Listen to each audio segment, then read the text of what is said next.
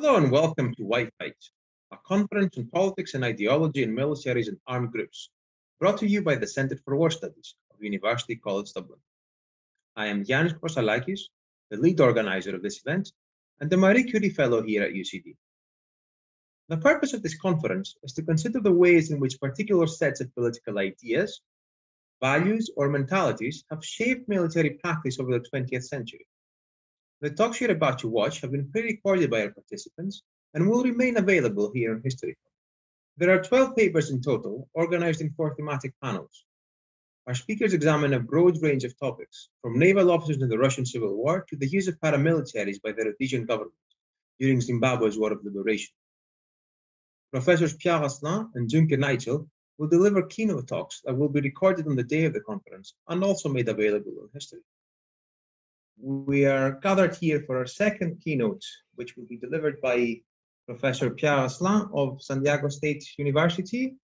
So Professor Asselin is a specialist in the Vietnam War from a Vietnamese perspective, and he's written a number of books and articles on the subject, the, the latest of which is, I believe, Vietnam's American War. And he's going to be talking to us today about uh, communist military strategy in the Vietnam War or Vietnam's American War. So Professor Asselin, the floor is yours. Thank you. Thank you very, very much, Yiannis, for this for this introduction and for for for this chance to to be with you. Uh, it's not it's, it's certainly not uh, uh, you know an, an ideal format, but but it will have to do. Besides, I'm sure that just like me by this time, you enjoy Zoom as much as as as as as my my, my colleagues. Um, I've never delivered an address without shoes on, so this is also a first for me. Um, and uh, but but uh, seriously, it's it's a it's it's a real it's a real honor uh, to be to be delivering this this this address. I'm I'm I'm I'm uh, uh, genuinely humbled by by uh, the invitation, Yiannis, and, and to be to be amongst you to discuss. Um, I think a, a topic that that that you know is, is, is quite significant given the prominence of the Vietnam War, um, but, but which I think uh, a lot of, of um, scholars misunderstand or have misrepresented. Um, uh, in, in the United States in particular, um, we've, we've written at length about, about, about the war in, in Vietnam, um, but strangely, uh, the focus has been almost um, exclusively uh, the American experience. And and you know, as as as we all know, um, the Vietnamese played a very very important role um, in in in their own conflict, really. Um, and and what I'm going to suggest today is actually the Americans were kind of were, were kind of interlopers in, in, in an ongoing Vietnamese civil war. Um, having said that, um, I've I've been researching the, the, the communist experience, if you will, the, the, the, the experiences of the other side in the Vietnam War for, for um, over two decades. Uh, and I've been doing this on the basis of materials collected from, from Vietnam. Um, I, I, I, under normal circumstances, I go to Vietnam at least once a year uh, to research the archives there. Um, it's challenging, obviously, because it's a communist state, but, but um, uh, by now I'm on relatively good terms with um, a lot of good and important people, and that's helped uh, in terms of getting access to to to interesting and revealing materials. So so what I want to do today, uh, consistent with the themes of this of this of this of this great conference, is to give you an insight into into into what was at stake for for Hanoi for for, for the communist leadership in in the Vietnam War, uh, but also um, um, tell you more about what was at stake for for individual men and women um, who who fought on behalf of of communist authorities in in in in the Vietnam War. Um, to give you an insight into why why these men and women fought in in the war uh, against against against the, the, the Americans and their and their and their allies. Uh, I've entitled the presentation "Determined to Fight, Determined to Win" uh, because this was a very very popular slogan uh, that was introduced and then used by Hanoi to mobilize its forces and its people and to rally them really behind behind the war effort. Um, and and essentially the equivalent in Vietnamese uh, is is is right here. It's Quyết Chiến, Quyết Thắng, right? Determined to fight, determined to win.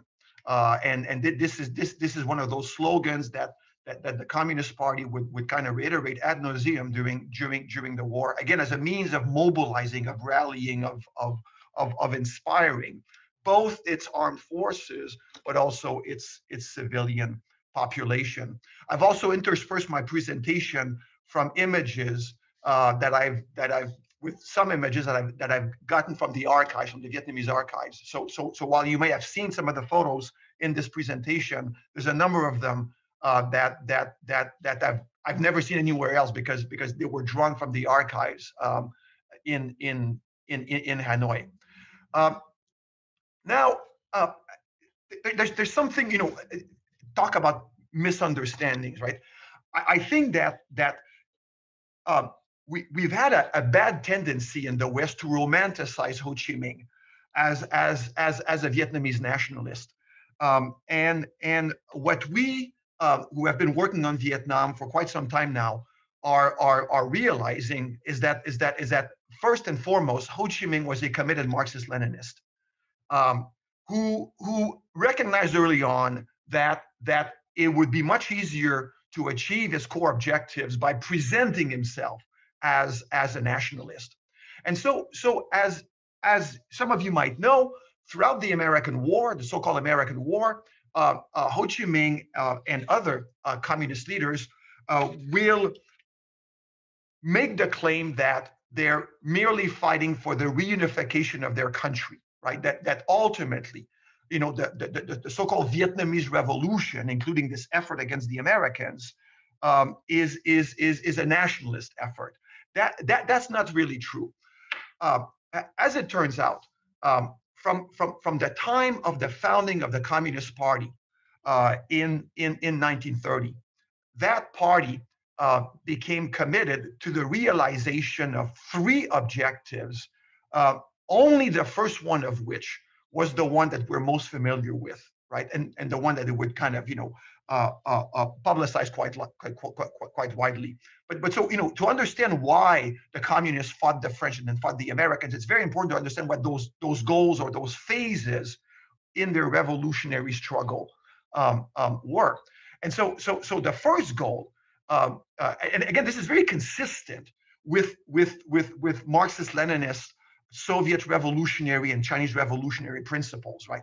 So so so the first goal at the time of the founding of the party in 1930 was to was to by in communist parlance to liberate Vietnam and to reunify Vietnam, right? Um, uh, when when the French took over Indochina, one of the things they did was subdivide Vietnam into three different constituent parts, in part because they were trying to to to to, to mitigate uh, uh, uh, the, the, the, potentially adverse effects of, of, of, Vietnamese nationalism. So, so, so, so in 1930, the, the, the Indo-Chinese Communist Party, which becomes the Vietnamese Communist Party, uh, will, will, will, will develop its platform, its grand strategy, if you will.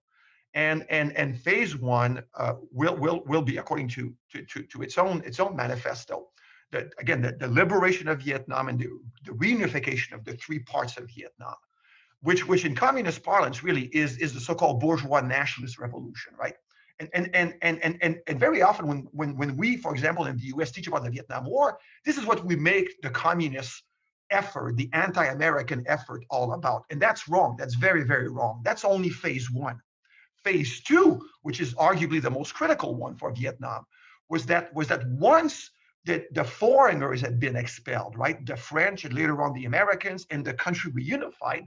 Then, then, then, then the party would proceed with the so-called socialist revolution, which essentially entailed fighting, taking on domestic enemies, and purifying uh, a, uh, a local society, right? So, so phase two of the Vietnamese revolutionary struggle essentially entailed the elimination of so-called reactionary classes and, and the creation of an, of an egalitarian society through the collectivization of agriculture on the one hand and the nationalization of industry on, on, on the other. And again, right, uh, it, it, you know, in terms of this debate about Ho Chi Minh being a nationalist or a communist, it's very, very clear that, that, that, that the moment that these communists would achieve goal number one anywhere, they would then shortly afterwards proceed with goal number two, demonstrating again their commitment to, to, to this particular ideology, right? And less to, to, to what we would consider kind of mainstream nationalism.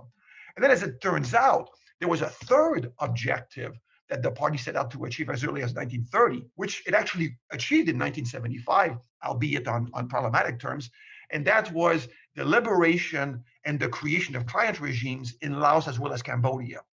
Um, you know, if, if, if, any of you have, have studied uh, the history of Vietnamese communism, you will know that that that, that what is now the Vietnamese Communist Party um, was actually originally the Indo-Chinese Communist Party, and that's that's largely the reason the, the, the reason why. It was it was it was a Vietnamese it was a party of Vietnamese communists, but but but communists who were who were committed to the liberation of not only their country but of the entire Indo-Chinese peninsula because because because there was a sense that Vietnam would never be able to enjoy the fruits of its independence and and of communism unless unless neighboring Laos and Cambodia had had similarly been liberated and placed under friendly governments right? So so so the, the, the agenda was quite ambitious to to to say the least right? But it's, it's important to understand you know th- this this revolutionary strategy of the party because it accounts for why they would fight the French for as long as they did, and then fight the Americans for as long as they did, without ever really wanting any sort of a permanent a diplomatic solution to end the fighting, as the Koreans would, for instance, eventually be forced to, to, to accept, right? When, when, when we look at why Hanoi prevails in the end, this commitment to these particular goals is, is, is extremely important to, to, to, to understand.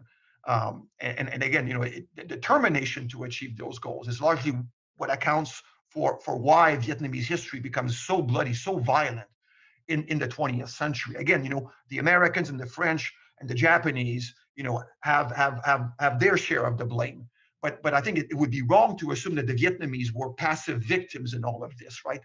Uh, uh, the Vietnamese were, were very active agents in, in their own history. And, and I would argue specifically the Vietnamese Communist Party was a very, very active agent in creating the circumstances that, that led to, to two very tragic wars, uh, first against France and then against, against, against the United States. Uh, um, you're probably familiar with, with, with, with, with, with the geography of Vietnam, but, but, you know, just to give you an idea here. So, so this is kind of, you know, this is Indochina under, under the French, right? So, so, so Vietnam, Laos, and Cambodia, and Vietnam under France is actually three different pays or countries, right? Tonkin in the north, Annam in the south, and Cochin Chin or Cochin China in in in Annam in the center and Cochin China in in in the south, right? So so so the French kind of break Vietnam up into three different parts, right? And then and then and then you know World War II takes place, Japanese occupy. Um, it's, it's, a great disruption. And then after World War II, France returns. Uh, an eight-year war is fought. And at the conclusion of that war in 1954, um, uh, from, from three countries, Vietnam is now two countries or two, two, two entities, right? North and, and South. Um, and, and again, as, as, some of you might know, um, with the so-called Geneva Accords of 1954 that put an end to the Indochina War, or the first Indochina War involving involving France, um, um, uh, northern Vietnam is placed under communist jurisdiction, under the jurisdiction of Ho Chi Minh uh, and, and, and the so-called you know, Vietnamese Communist Party, uh, whereas southern Vietnam is placed under the jurisdiction of, of I guess what we could call a, a, a, nationalist, non-communist regime based in, in, in, in Saigon. Um, and, and, you know, they, they, they, there was hope domestically and internationally that that this status quo would would prevail, uh, but it it did not. Um, shortly after this partition was was effected, um, uh, uh, the communist authorities would would would resume the military struggle to bring about the realization of of their grand strategy I addressed I addressed just moments ago. So uh, essentially what what what takes place uh, is is is that um, we have a kind of a, a, lull in the fighting after the French war comes to an end, and Vietnam is is is supposedly temporarily partitioned into into into two regroupment zones or two two uh, temporary political political entities. Uh, now, that technically, the, the Geneva Accords provided for national elections to take place within two years by 1956 to bring about the, the peaceful reunification of, of, of the country. Um, owing to circumstances, again, those elections don't take place. Um, you know, the, the, the, primary obstructionists are the authorities in Saigon and, and, and the Americans, although, again, you know, Hanoi uh, did very little to make sure that those, those elections would actually take place. Um, but at any rate, the, the elections don't take place. And then shortly afterwards, around 1957 or so, communist insurgents in the South initiate an insurgency to bring about the overthrow of this of this reactionary regime in Saigon and and expedite the reunification of Vietnam under under communist aegis. Uh, so so so so an insurgency that's that's that's effectively local in nature uh, will will will become expanded in 1959 when Hanoi decides to actively support the insurgents. Um, uh, starting in, in, in, in, in the middle um, of, 19, of 1959, uh, northern Vietnam, the regime in Hanoi will start uh, deploying uh, uh, men and, and material to the south via um, um, an, a network of arteries running through Laos and Cambodia that will become known as, as, as the Ho Chi Minh Trail. Um, the situation goes from bad to worse for the authorities in, in, in Saigon. And in the context of the Cold War, uh, which is really heating up at, at the time after the Cuban Missile Crisis, the Americans will feel compelled to come to the defense of, of, of the uh, regime in, in, in, in Saigon. And essentially, in 1965, with the deployment of the first American combat units to South Vietnam and the onset of US bombings of Northern Vietnam, we effectively witness an Americanization of an ongoing civil war in, in, in Vietnam. Um, and, and, and as it turns out, you know, um, shocking as as as it might have appeared, Hanoi actually anticipated uh, an American intervention. Um, when when Hanoi started deploying troops and supplies to to the south, um, it it it assessed the situation and, and essentially concluded that that you know they have a good four to five years to to complete the liberation of southern Vietnam. And if, if they fail to do that within those four to five years, then there's a very, very uh, uh, uh, high possibility that the Americans would, would intervene. Uh, and so, and sure enough, you know, the Americans will intervene in full force starting in 65. Uh, but, but, but, you know, Hanoi was prepared. Um, actually, Hanoi was Hanoi actually thought the Americans would invade northern Vietnam, not simply deploy troops to, to the south, but actually invade the north itself, much as they had done in, in Korea. And that the fact that it never materialized would come as a great relief to, to the leadership uh, in, in, in, in the northern Vietnamese capital. Uh, now, uh, when, when, when, when the war is Americanized, um, and again, that's to me, that's really that, that speaks to the the the the the the, the capabilities, the resourcefulness, uh, the the the the experience of, of the leadership in, in in Hanoi. When when when when the war becomes Americanized, um, uh, Hanoi recognizes that that that to win this conflict, right, to to defeat uh, America and its allies and and bring about the reunification of Vietnam under under under communist authority, um, um, uh, Hanoi will will have to be resourceful. Um, uh, communist leaders understood that they could not rely on on military struggle alone to beat the Americans. The Americans were simply too too mighty, too too powerful, and so were were their allies uh, in in in in in the South. And so so so so what Hanoi does to basically offset its own weaknesses, its own limitations, is develop a, a, a strategy that's predicated on not one, but three separate modes of struggle.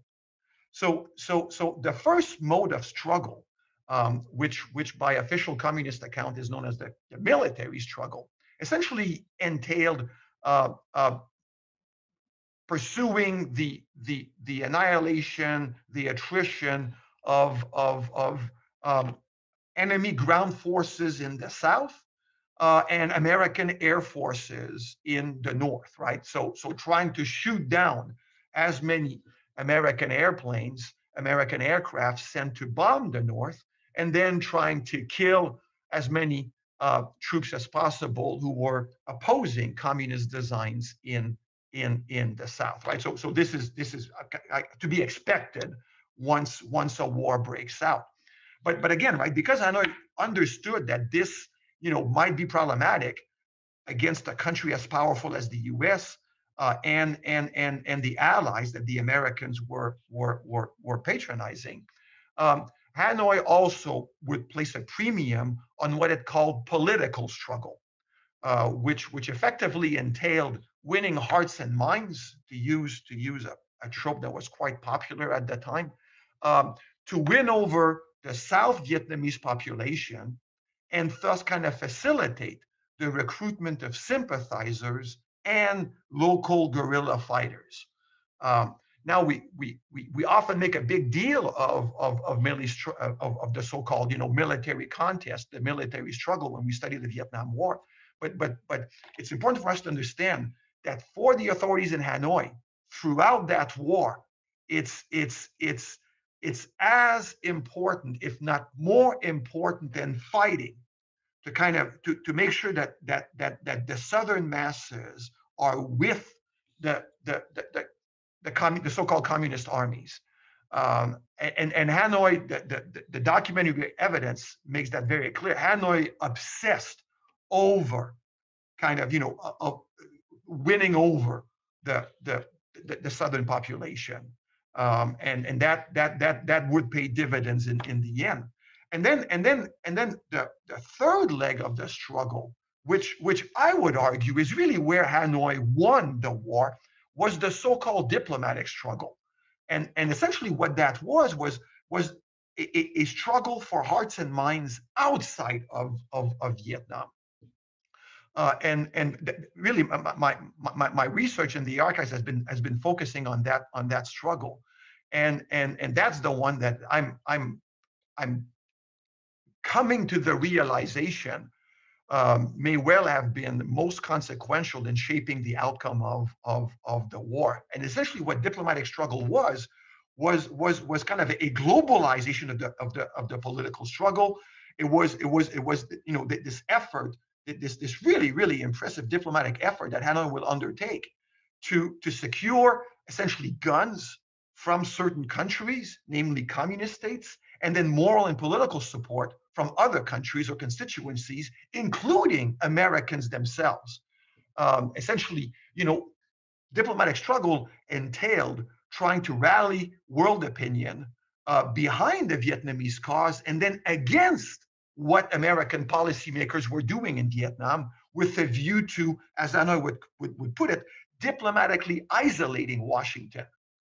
Um, and, and, and, and again, right, I mean, when, when, when, when we look at the Vietnam War in its totality uh, and we try to account for the outcome, clearly the military struggle doesn't explain it, right? I mean, the, by, by, by Hanoi itself has admitted that more than a million North Vietnamese and Viet Cong soldiers were killed during the war, right?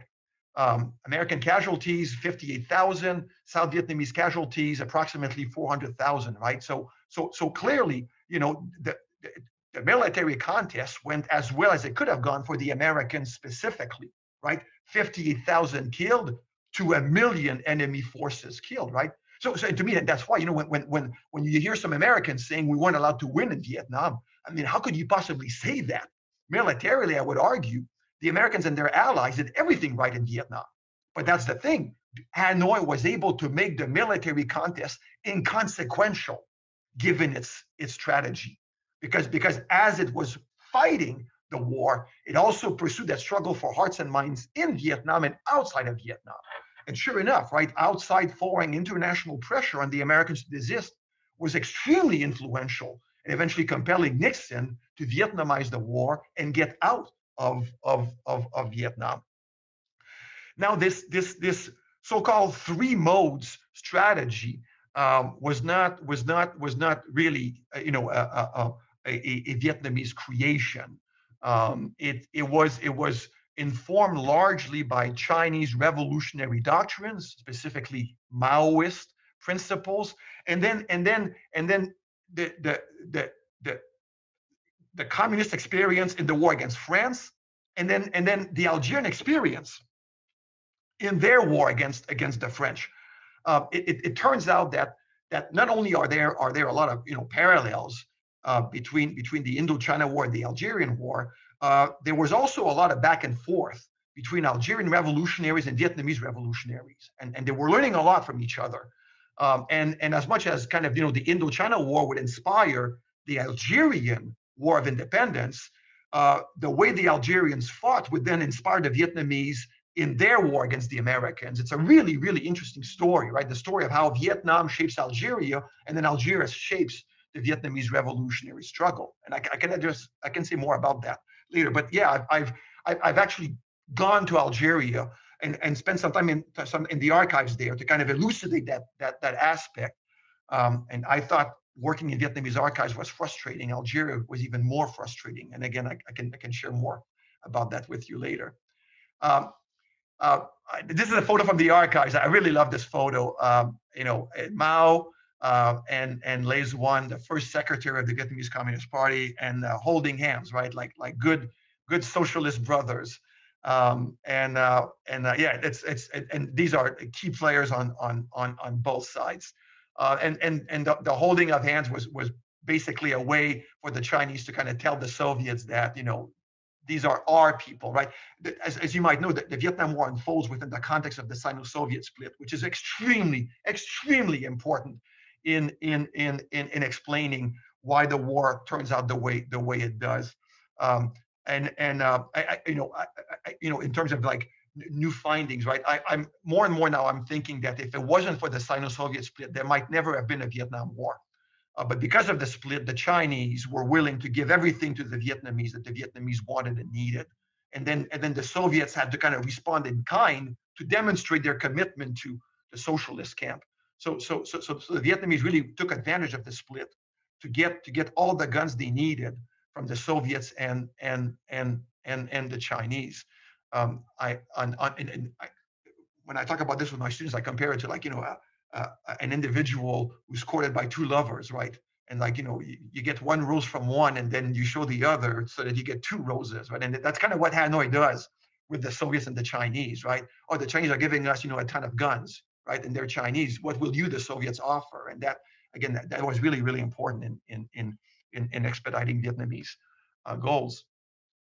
Uh, you know, you talk about you know the war. The, the, one thing that you know, the war for the Americans was was a limited war, right? As as I'm sure you you know, uh, for for the people of North Vietnam, it was a total war. This was for them, it was World War II, right? It's it's whatever World War II represented for Europeans, let's say.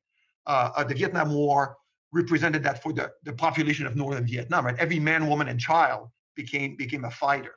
Um, and uh, this is a photo I got from the archives again. Uh, it's, basically a village militia um, uh, sitting on top of a wreck, the wreckage of an American aircraft. Um, now, now the, the you know the the, the, the caption uh, says that basically this militia shut down the plane. Um, it's it's it, militias don't shoot down American aircraft, right? Um, but but you know it, it, it, makes for a great photo opportunity, um, and and um, uh, it's I like the photo because I mean it's it's it's you know this is you know these are the people who are behind the effort, right? I mean and and and and as far as militias are concerned, in both the north and the south, I mean they literally are peasants by day and kind of fighters by night, right? Or or or, or peasants while there's no bombings and then and then and then and then fighters when when there are bombings. And I'll say more about the bombings, but but the bombings were very counterproductive for the Americans in ways that they never realized until it was it was it was too late. You know, the the, bombings disrupted village life. They made people really really angry. Uh, but in terms of the damage they inflicted, um, it was it was relatively inconsequential relative to the anger that they provoked. um, or in this case, the joy they caused, right? I mean, that's another thing about the photo. the, the expressions on these guys is is is kind of priceless. Um, now, um, you know, in terms of of so so so we've talked about kind of the grand communist strategy, right? Uh, and then and then and then the strategy in the war generally. Now, I want to say a few things about about about the strategy in the ground war in the South specifically. Uh, so so so you know what what what was the strategy for for basically you know winning the ground war in South Vietnam, um, or at least you know making a contribution to victory uh, by by by engaging um, American ground forces and and and their their their allies. So so uh, communist authorities are very very clear. Um, the the uh, their, strategy in the South, and again, right, it's interesting because as much as we've written and read about Vietnam, we, we, we you've probably never seen this this this this particular expression, uh, but but it's it's it's it's all over the archives. It's all over you know Vietnamese texts about about military history. Um, this this idea of, of the three spearhead attack, right? The three pronged attack or the three front attack, right? Um, again, military, political, and, and in the context of the war in the South specifically, military proselytization. I'll tell you more about that in a moment, but that's that's an absolutely central element in the communist strategy in southern in southern Vietnam, right? And then so so uh, I've I've actually and I've, I've listed here uh, the the the equivalent in in Vietnamese, and that's the thing when when when when when official sources or or, or the party uh, uh discuss the war and the strategy in the South, this this is this is this is you know this is it you know? So the americans had their search and destroy strategy and then and then this is what call it the equivalent for for for for for for the, the forces supportive of hanoi's agenda right? The, the three spearhead attack and and what's interesting and and this is lost on a lot of people who study the war is that ultimately the most fundamental aim in in in the war for for for hanoi was not killing Americans. It was basically killing Vietnamese serving in the South Vietnamese army. It was it was it was it was kind of you know as as as as as as this quote indicates, it was to destroy and disintegrate the majority of the puppet army, the South Vietnamese army, right? And destroy only part of the American army. The Americans were never the core goal here. They never they were never the core target, again, because Hanoi understood that that that that the odds of defeating the Americans militarily were slim to to, to nil, right? But but but the, the South Vietnamese army was much more vulnerable. And, and, and, and there was a sense that if we can somehow disintegrate this army, right, then the Americans would have no reason to keep fighting and we would win the war, right? So, so as much as we make the American war, right, when, when, we, when we see images of the Vietnam War, it, it's always, you know, white guys against Asian guys, right? Americans against Vietnamese.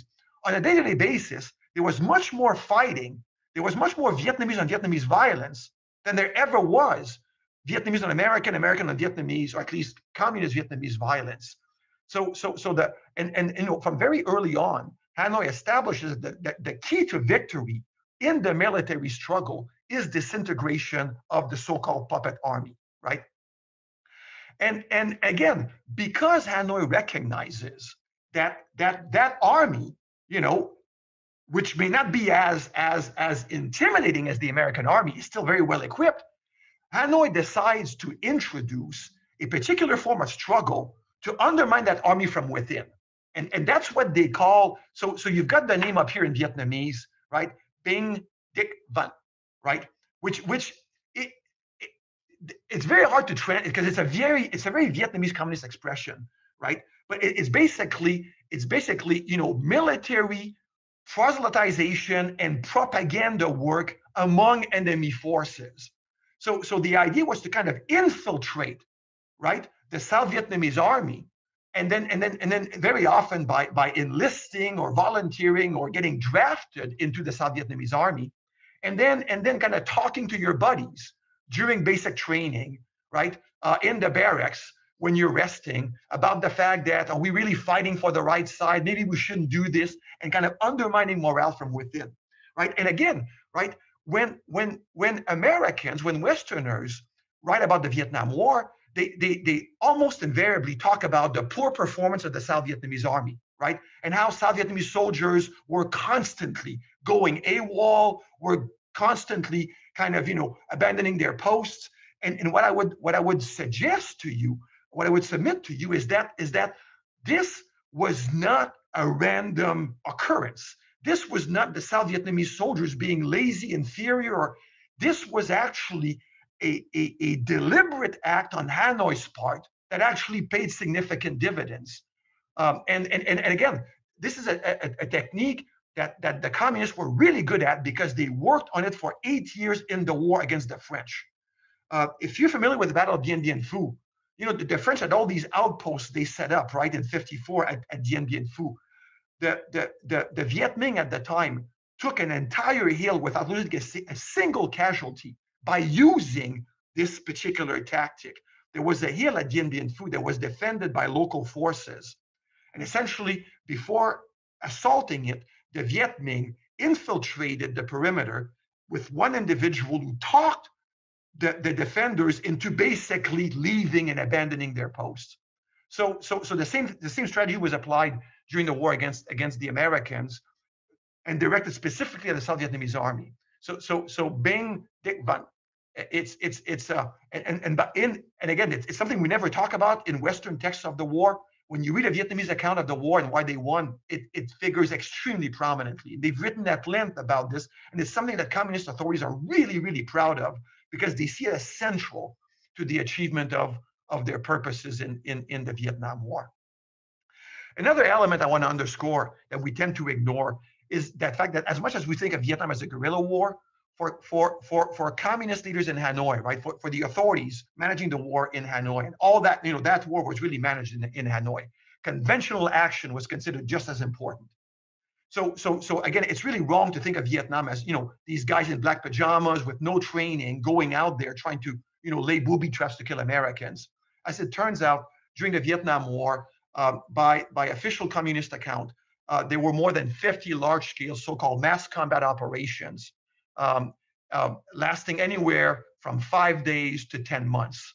Um, the leaders in Hanoi, I, will say a few things about their armies in a moment, but but they had at their, their disposal some really really great soldiers, um, um, and and and and made it made made, made full use of them, uh, including in conventional battles.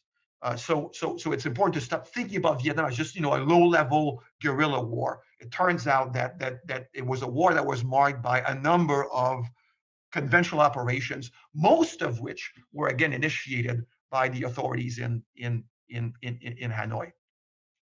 Uh, now, again, just to elucidate something, um, just so that you know we're, we're, clear about about about about why some of these things are possible, um, and and to give you an insight also into into what's going on on the other side.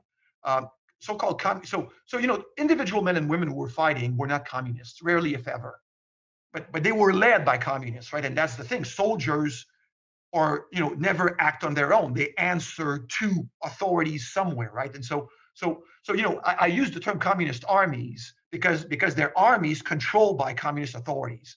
But then but then i'll say i'll say a few things about motivations. Most of the people who fight in those armies are not communists themselves right? Only those who lead them so so so so-called communist-led forces in south vietnam consist of two armies and three formations right so, so the two armies are the North Vietnamese army, right? The professional army of northern Vietnam, and then and then and then the so-called Viet Cong, which is which is which is local South Vietnamese insurgents, right?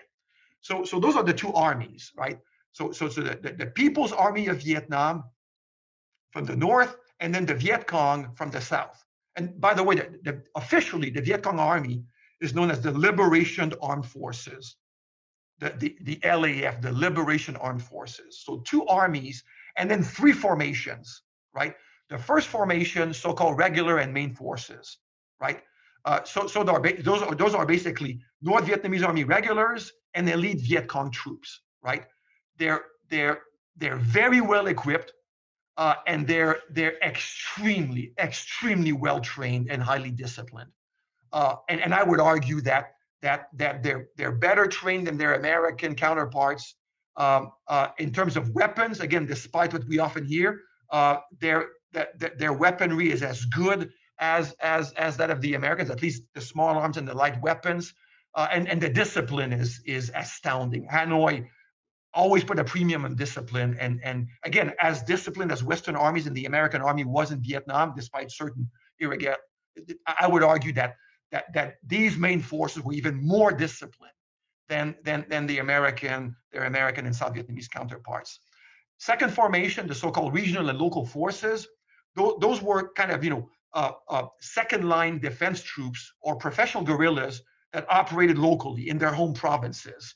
Um, now, some of these units were very good, others were very bad. You know, the, it, it, varied greatly depending on the kind of training they'd received, how many casualties they, they, they suffered. And, and those guys, these professional guerrillas, usually would support regular forces or else engage the enemy, but, but really only in ambush style attacks because they did they lacked the resources or the training to actually participate in conventional battles, right? And then, and then there were the popular forces, right? The village defense and other militias um, who were very poorly trained, very poorly equipped, worked the fields by day, worked booby traps by night, but then ultimately played a vital role in the war by providing incredibly, immeasurably important assistance, especially information, to, to, to regular forces and regional forces. But, but see, that's the thing, right? When, when we think about the Vietnam War and America's enemies, we think about basically the popular forces, right? Like men and women in dark pajamas. And, and that's the thing, those, those guys don't really fight the Americans. It's the main forces, right? Who, who do the bulk of the fighting. And as I said, those are extremely, extremely well trained. Um, so, you know, these images of, you know, the poor peasant, and it's all propaganda on the one hand, or else kind of, you know, stereotyping, borderline racist stereotyping on our on our on our parts, right? Um, you know, talk about conventional operations, right? This is the Tet Offensive, which I'm assuming you're all familiar with. Um, so, so it's it's it's one of the, the the major conventional operations launched by Hanoi. But again, right, just all this to say that again for Hanoi, conventional operations were as important as daily guerrilla guerrilla operations. Uh, I'm, I'm, gonna I'm gonna say a few things about this, and then and then and then I'm I'm, I'm gonna conclude. So, why were people fighting, right? Which is an important one. So so when you look at North Vietnamese soldiers, when you look at northern troops, right, it's true that most of those guys are volunteers, right? It's but but that's but, but the, thing is this, right? And I've, I've I've talked at length with with uh, veterans in, in northern Vietnam. They're volunteers because they know they're going to get drafted, and it's going to look a hell of a lot better for them and their families if they volunteer before getting drafted, right? So so so and and then and then you know teachers would put tremendous pressure on students to volunteer for service instead of waiting to be to be to be drafted. Relatives right would would often tell you know an 18 year old boy that well you know i fought the french it's your turn to fight the americans right? So so it turns out just like you know soldiers in in any war most of these kids don't want to be there right? But they are because the nation is calling and then they're facing all kinds of pressures from everywhere to volunteer right and not wait to be to be to be drafted right and then and then as i mentioned earlier there was the american bombing right so so for for those of us who know the history the americans are bombing the north to punish it for its support of the south right which is a legitimate reason but if you're a North Vietnamese civilian, that's all lost on you. As far as you're concerned, here you are minding your field, and all of a sudden your life is disrupted because the Americans are bombing you for no reason. Beyond that, the bombings played into the, the Hanoi narrative that, that, that the Americans are evil imperialists who are here for no reason. So, so, so I would argue that the bombing was counterproductive in the sense that, that the, the, the propaganda value it served for Hanoi outweighed whatever physical damage it caused. Now, for Southerners, for, for the so-called Viet Cong, some of them were coerced, were forced into joining the Viet Cong, but then most of them are volunteers with a personal vendetta against Saigon or the Americans, right? So, so, so, you know, the Americans killed my father. You know, how dare these, you know, white devils kill my father, right? So, so then I would join the Viet Cong, right? So, so, uh, or else, you know, I, don't want to, I don't want to, I don't want to fight for the South Vietnamese army, right? So, I, I know as an 18 year old, I'm likely to be forced to fight. So, so I'm, I'm gonna I'm gonna join the Viet Cong instead of, of the South Vietnamese army. Uh, sometimes you know the communists will promise my family land if I if I if I if I join, or else I'm just bored with village life. Uh, you know, and and, that, and that's actually an important element. You know, so so what's interesting when you look at soldiers from the north and the south, no one fights, or very few people fight because you know that's what we Vietnamese do. They, you know, just like Americans, just like you know, yes, we believe in God and country, or you know, whatever. But then, but then, there, there's always kind of a practical reason, a more self-solving reason to to to join, right? And then a few word about about women. As you know, many women would would would would, would engage uh, in in in the war in various capacities. Uh, a lot of them uh, we, we, we, we, we're finding out are, are, doing so mostly because they just want to be emancipated and, and, and becoming a, a, a, fighter, a sympathizer, you know, allowed them to not marry this guy their, their parents wanted them to marry, or just, again, to kind of escape the drudgery of, of, of village life. A lot of women became cadres, uh, or else they, came, they became combat medics, nurses, logistical experts, uh, um, um, informants, spies, moles. Um, you know, you, very few women were actually soldiers, were actually fighters. Um, most, but but but but they, they played a, a, very very important role serving in other capacities. Um, again, these are from the archives in, in, Hanoi, right? And you know, the great photo, right? Kids helping firemen put out a fire. But again, it's these things, right? If you're a kid, right? You know, all of a sudden, you you know, the, the, the village communal house is on fire. It's been bombed you don't know why you just see this american aircraft right and so so when you're of age you know you're you're kind of happy to go back and and give the americans a taste of their own medicine right um, this is a village militia having lunch um, you know and, and that's you know that's life under under the bombs right it's it's it's you get together you hide you eat lunch and then you go back to the fields you do whatever but you know emotionally it takes a toll right and and at first you, you want to do something about it so so again like a lot of young men would would would, would be happy to volunteer because it was a way to kind of protect their families, right, indirectly. Um, really like this picture. You know, you talk about determination, right? So, so this is the wing of a B-52. Um, and here are these guys plowing the fields despite, you know, that plane being right there. And that's the thing, right? Hanoi was able to kind of mobilize not just soldiers, but its whole civilian population. So, so, so, you know, despite you know the north being a war zone life continues because it has to we still have to produce food we still have to to, to go about our daily our daily our daily business so so determination resilience again very often compelled by hanoi is, is, is an important factor in all of this uh, again if you if you've taught you know this this story if you know about the story women always figure prominently right in in in, in these images right uh, you've probably seen this one here right this I, I know from talking to people this was staged uh, as as is this stuff, right? It's it's you know again, you know, women did carry guns, um, but but they rarely participated in combat. They, they, tended to play other roles outside of, of of, of combat. But Hanoi liked this image of a female fighter because it made the Americans look even worse, right? These bad, big bad Americans are fighting innocent women, just trying to protect their their their their their, their children, their families. Um, I love this picture. Uh, I got this from the archives. Uh, you know, we always have this idea of you know the northern soldier as an angry. I, I, don't know how well you can see. Just a bunch of kids going into combat. These are North. It's it's it's, it's a North Vietnamese uh, army platoon. They're walking towards Saigon, and the expression on their faces. I mean, they look like kids. They look like like you know like babies, and and uh, you know it's not a propaganda. You know, in in most images we see it's always propaganda images, right? Because the North controlled information. They're smiling or whatever these kids just have this blank look on their faces. It's such a great photo. It's a really, really great photo. Um, I'm going to leave you with this because uh, I'm already five minutes over time. Why Hanoi won? Uh, I would argue number one, superior strategy. Number two, superior diplomacy. Number three, superior leadership.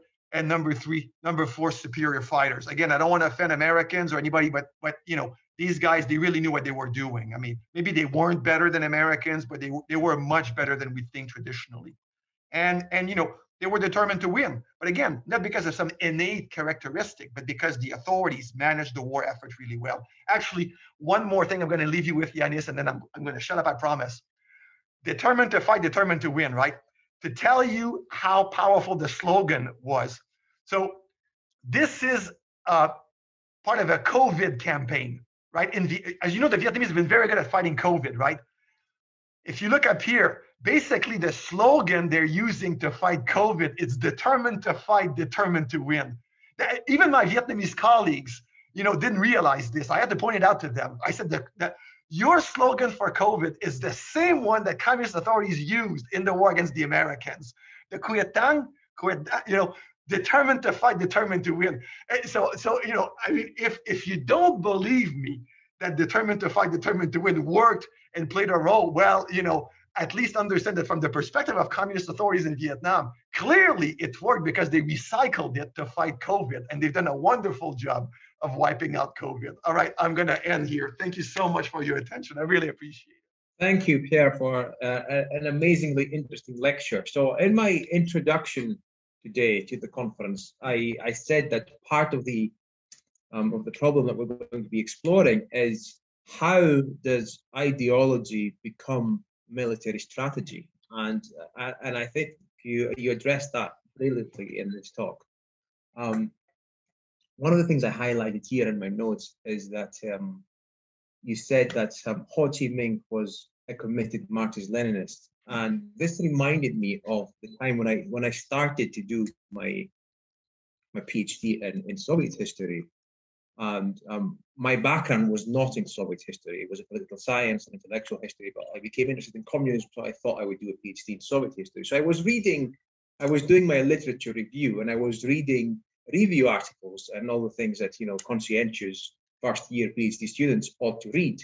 And a lot of what these you know, very um, high-ranking scholars were saying was that now that the archives are opened, what we found out is that these people were actually Marxist-Leninists. So I thought, wow, the, the, greatest discovery to come out of the Soviet archives was that the Soviet Union was led by communists. Maybe this is not a very interesting field after all. But um, I think it's really important because it, it, it gives you a sense of how communism was indeed a, a global revolutionary movement. And yeah. it's still, um, the history of communism is still very much um, compartmentalized into national histories of yes. Vietnam, China, and Russia. And that's, I, mean, this probably has to do a lot with language skills that are required yep. to do the studies. But one major commonality in all of these is that you have a group of very committed revolutionaries with a clear idea of what they want to do. They have a theory, the, the notion of scientific socialism, right? You, you study what you want to change and you change it based on a plan. And that's a common feature in all in all communist society, in all communist movements, at least the ones that were um, somewhat successful. Yeah. Um, so that, that's a comment. I, will go. Um, I'll move on to the question. So um, I was wondering if um, you could give us a better idea of what the military structure of of the of the communist forces was in terms of things like I don't know the, party presence within um, within the units, maybe political officers, yeah. that sort of thing. So you talked a bit about the the structure at formation and army level, but uh, maybe a bit more um, fine grained stuff. So, so I, I, I think I think this this is a Soviet model, right? So, so in, in every military unit, the the the military commander has a political counterpart, right? So, so so at the division level, let's say the division commander will have a, a political counterpart, right? So, and one will be in charge of military strategy, the other will be in charge of indoctr- indoctrination, political strategy, right? And then during the war, if if conditions permit, you would have this like a, a political presence down to the platoon level. Um, and and and again, in terms of why communists fought so well, um, I would argue that the presence of, of what they called the political commissar inside units made a really really big difference. Now now when when when we think about the political commissar, right, we think someone who's very about someone who's very ideologically rigid and so on and so forth, right?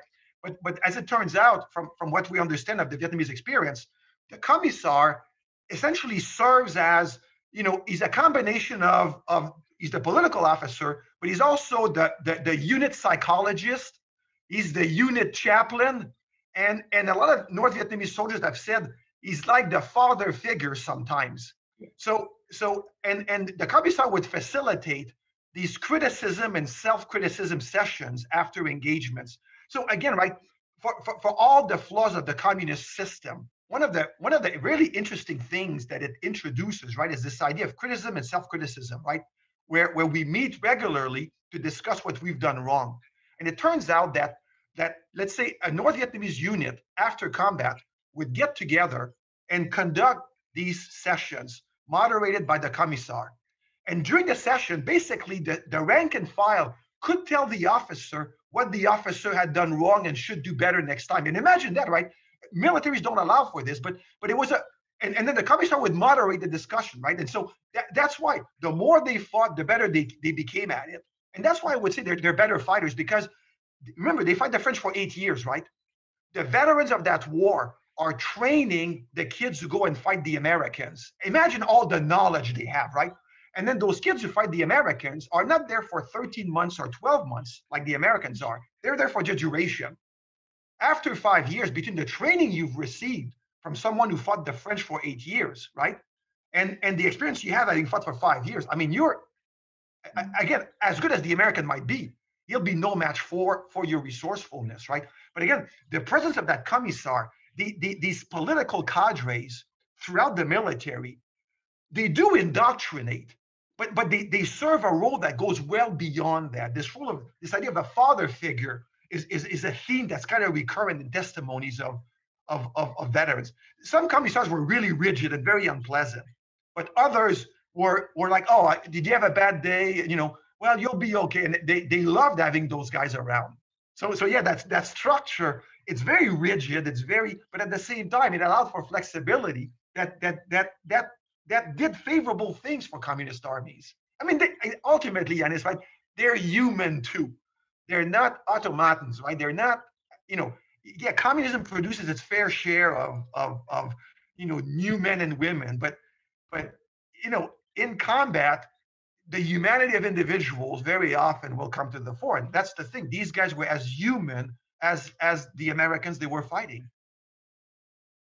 Excellent. Um, I am actually. This is exactly the sense I get from studying the Red Army as well. But um, the commissar is this sort of unit psychologist slash father figure, as well as political educator and sometimes annoying person. But um, they do they do have this very sort of well respected position in the military. Yeah. And obviously, when when you're in a situation like the Vietnam War, when you're actually fighting a war that is um, probably justly perceived as a foreign invasion as well, then these things become much more important than yeah. say when you're just doing your military service in times of peace, of course. Yeah, exactly. Yes.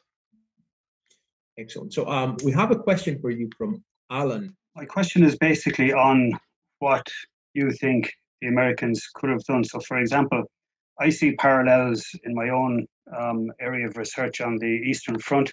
So, obviously, you had the Germans going in and they had a choice. They were either going to uh, try to win people over with a, a hearts and minds policy. So, go in and you know befriend the Ukrainians or the peoples of the Baltic states or whatever but it's one of my biggest bugbears when I research the Eastern Front because you literally read this in every single book in the literature. Everybody always, always says, oh, the Germans uh, should have befriended the Ukrainians, the Germans should have befriended the, the peoples of the Baltic states. But my counter argument to that is always, well, if they had done that, then they wouldn't have been Nazis. You know, the whole idea of, of being a Nazi was that they were going to go in and, and take the stand from these people anyway.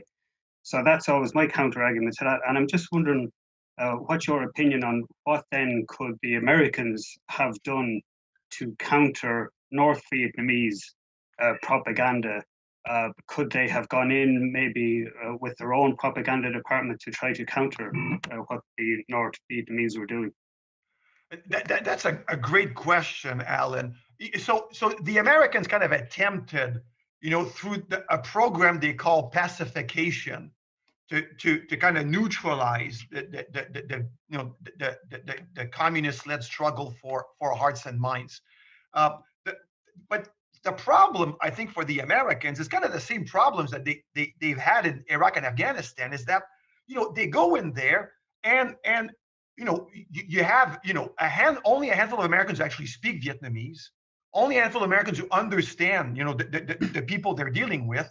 And, and, and there's no, you know, there's no really systematic effort to learn to engage the Vietnamese on, on, on their own terms, right? So, so, so I, I think, I think that, you know, whatever the Americans would do, it was, it was bound to come up short. Now they would often try to work through the South Vietnamese, right? Through their South Vietnamese allies.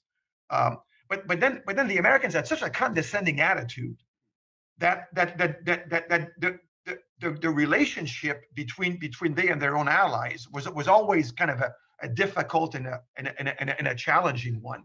So uh, you know the question is is a very good one, but I, I just think Alan that that you know I, I don't see what else the Americans could have done. You know, there, there, there's, you know, if because Hanoi chose to fight, that's the thing, and Hanoi played to its own strengths, and and and sought to exploit American vulnerabilities, um, and and and I I think that you know, absent this effort on the Americans to kind of more widely kind of you know explore the culture, train linguists, um, there was there, there, there, there was very little that that, that they, they, they could do. And and and you know, and if you look at Iraq and Afghanistan, I, I would argue, you know, this, the same thing happened there, right? I mean, it's very hard to fight a war that's that's that's not just a military contest if you're just not prepared to fight on the political, cultural, and, and mm-hmm. these these other fronts, right? And and to me, that's that, that's that's the credit I give to Hanoi. They they recognized, they were aware of their own limitations, and so, and whereas the Americans thought that you know this could be solved by military means means alone. Um, so, so you know, yes, there's always things the Americans could have done different, but I, I think that in the end, you know, you, you, you just have to say that they were just bested by an enemy that proved more resourceful, more competent, and and and, and better prepared. I don't know if I, am answering your question, Alan. No, you have absolutely, but I, I think I mean you're absolutely right. It's why we're all here today because military historians tend to overlook the uh, ideological part of war.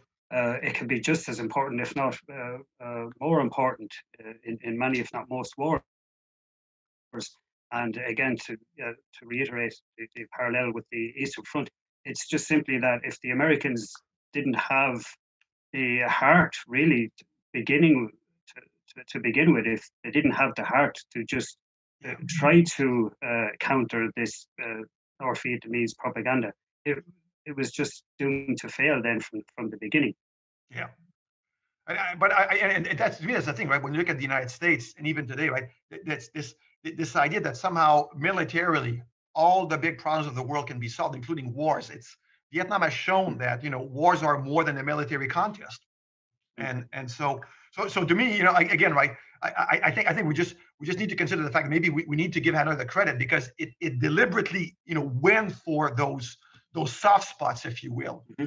uh, of, of of the Americans. Hello, uh, that was, thank you very much, Pierre. That was a, a fascinating um, paper, I really enjoyed it. Um, I, my own uh, research uh, overlaps somewhat uh, with your own, um, particularly when it comes to hearts and minds, because my research is, uh, focuses on humanitarianism and uh, particularly humanitarianism in conflict. And there's this idea that very many militaries all over the world uh, get into their head that uh, it's impossible to win any sort of uh, foreign conflict um, uh, involving local populations unless you're also having some sort of outreach program to try and exactly that win over their hearts and minds. But the truth is that nobody has ever done it properly. It's never been done properly. It's a totally failed and flawed ideology, starting with the British in Malaysia and moving, uh, you know, through Vietnam and even now, you know, all the way up to Vietnam and Afghanistan. Sorry, to Afghanistan and uh, Iraq, like you were saying, because the truth is that uh, people who don't, and you touched upon this yourself, um, uh, invaders, if you want, who don't know the language, don't know the culture, are not going to be able to predict uh, uh, what it is that the local community truly needs and wants. So, you know, the, the things that your average 22 year old lieutenant from the American military uh, thinks that the people might need may, in actual fact, be completely different to what the people themselves really want.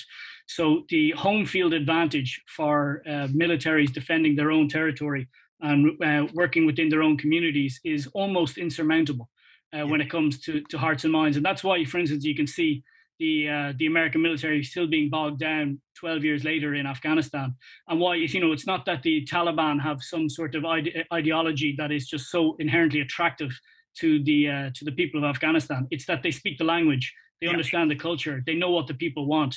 So um, the yeah, Hearts and Minds, it, it's very popular, and you, you, even to this day, despite the fact that it's never been done properly, you know you hear it all the time. And if you ever spend any time with uh, modern militaries. You know, it's something that everybody from from uh, left lowest lieutenant all the way to the highest general that they consistently bring it up and speak about it as if it's a strategy or, uh, that can be implemented correctly. It's a good point. And Ronan, I would say, know, in Vietnam, the, the one thing that worked very well for the Americans was the, the special forces guys they would embed with they minorities. Right. Mm-hmm. But that was the thing, right? Those were ethnic minorities who didn't care much for the Vietnamese, right? So, so they, they, many of them had worked with the French, and they would gladly work with the Americans to kill Vietnamese, right? But, but I, you know, the special forces guys would basically be living with these villagers, right? Uh, and and I mean, there was a very dangerous assignment. Most of them, you know, would eventually kind of be be accepted by the village. But then usually what happened was this, right? But then you know, a U.S. Army unit would come in and basically, you know, by treating the villagers like they were enemies, kind of undo all the goodwill, all the work that had been done by the special forces guys. But you know, if if if the, the special forces model uh, had been applied on a wider scale, perhaps things would have been different. But as you point out, Ronan, I think it, it's just you know, Westerners are not willing to make that investment, right? Because it, it's it's time consuming and it doesn't pay dividends right away, right? But you know body counts that's how you know we think we can actually more easily measure progress in the war and and that's that's not the case. It's it's it's uh we want to see dividends immediately right? And yeah. i think that was the problem with vietnam as it is with iraq and afghanistan. If you don't train people to really understand local local individuals then then then then you're, you're it's going to be you're going to have a really hard time prevailing there's, one, there's one other uh, thing, very briefly, on the on the hearts and minds that uh, uh, some of the participants might find interesting, is that you can create uh, essentially a market for uh, these outreach programs. So you have uh, situations, for instance, we can you know look again at the Afghan example. So uh, a lot of the problems over the last 15 years, the, the, military problems that faced by NATO are in the south of the country. So suddenly you have these uh, um, you know attacks going on in Mazar-e Sharif, and you find out really what's happening in the north. And what's really happening is that the people have figured out that unless there's violence, then the NATO forces will have no interest in spending any money in their That's in their areas. So they let off a couple of bombs, you know, they make a few threats, a bit like the IRA in Canary Wharf, just to let everybody know we're still here. You know, spend some money up here as well, or you're also going to face the same trouble. So you actually end up incentivizing violence as opposed to uh, disincentivizing. That's so interesting. Thanks, Ron. That's really, really interesting. Thanks, uh, Pierre. Um, I believe we are now out of time for the session. So can we maybe have a short break and reconvene at half past for our next panel? Yes, excellent. So um, see you soon. Thanks, Thanks again. Thank you. Thank you so much, everyone. For I really appreciate. Thank you so much. Great questions were great. Thank you.